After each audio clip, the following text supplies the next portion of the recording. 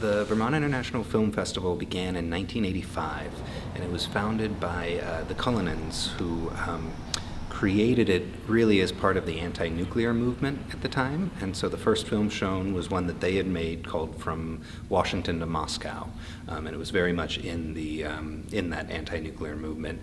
And a lot of the initial first films and and uh, inspiration for the festival were uh, environmental and social justice causes.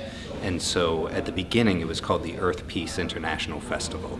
We do try to find films that run the whole gamut of taste and types of films. So the idea is that there would be a little something for everyone.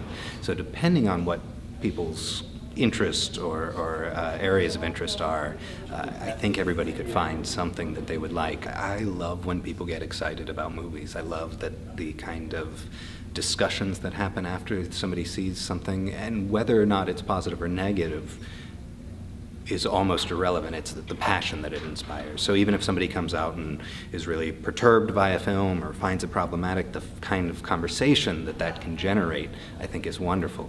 When people love films and come out and they, you know, are eager to recommend it to people, I think that's just great. And also, the, the connections, um, both within the community, whether it's organizations coming together and sponsoring films or just coming in and being a part of the festival, and the individuals. You know, it's a chance to come and if you show up at the same film or if you show up at a couple of the same films with the same group of people, you begin to see that you have these, this common ground and it, it provides a, a meeting point for people.